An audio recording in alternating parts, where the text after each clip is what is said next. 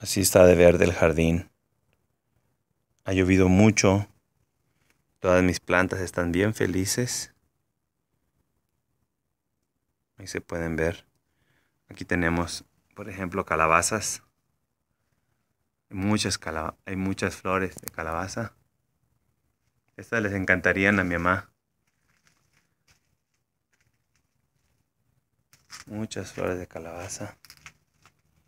Ya el maíz también está creciendo. Ya va a espigar.